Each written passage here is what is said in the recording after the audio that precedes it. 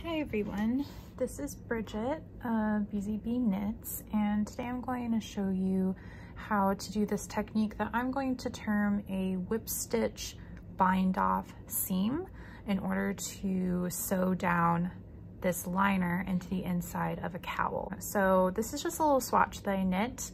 Um, I worked this flat just for the purpose of this tutorial, um, but for the cowl that is knit in the round. So this is mimicking the top edge of the cowl.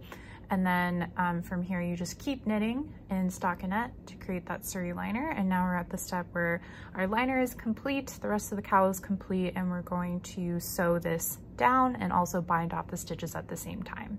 So you're going to need a tapestry needle, obviously your knitted piece, you can keep the stitches live on that needle and then I made sure to just cut a tail three times the width of my cowl or in this case it's just the length of the swatch. Um, so the first thing that you're going to do is we're going to tuck that liner to the inside of the cowl. So to do that, I'm just going to tuck this in. So basically this is the right side of the liner, the stockinette side, and then this is the uh, right side of the cowl. Um, so you can also think of it as wrong sides moving together. So I'm just gonna line up that edge. And now, um, so for this cowl, I suggest doing the German twisted cast on. And the reason is because it's really easy to see where you want to seam. Um, so to start off, we're going to slip your first stitch live stitch knitwise off the needle like that. And now I'm going to look for that corresponding stitch on the cast on edge. So if you see here, these are these little bumps that you make in the German twisted cast on, and we're going to seam to the little bump to the right. So that's one we're gonna seam. This is one that we're going to seam this is also where we're gonna seam.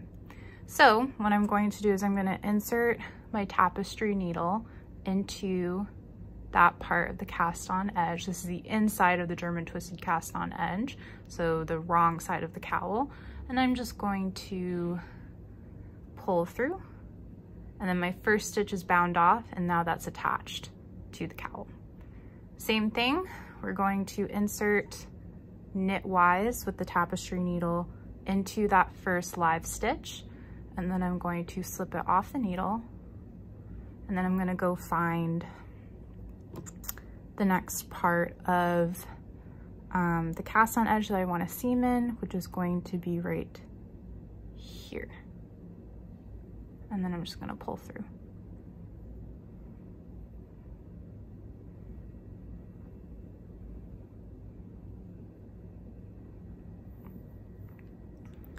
So just make sure while you're doing this that you're not um, doing this too tightly. So you wanna still maintain the stretch of the cast on edge so that that cowl can still um, go up and over your head. So I'm just gonna keep doing that a few more times um, to show you um, the technique. So slip that stitch off knitwise, gonna go into that next bump here, and then slip over and just tug a little bit, but not too loose. Again, I'm maintaining that stretch. Another time I'm going to insert knitwise, take that stitch off the needle, go into my next bump here.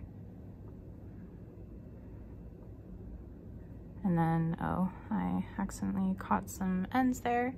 Same thing, just a whip stitch and binding off those stitches at the same time. Going to insert next stitch into that next bump, pull, insert, insert, pull, oh, sorry. Suri is very sticky. And then I'll show that one more time. Insert knitwise, insert here, and then pull. So I'm just gonna do the across my swatch and then I'll show you what that looks like at the end. Okay, so I have finished binding off and seaming down all of my stitches here. Um, so as you can see, all those stitches are secure and it's a really um, not bulky seam. And then it still maintains the stretch of that cast on edge. Um, and in my opinion, I think it's just a little bit easier than the Kitchener stitch. Um, and yeah, so that's my little tutorial. I hope you found this helpful. Um, you can find me on Ravelry and PayHip under BZB Knits Designs um, and also on Instagram as BZB Knits.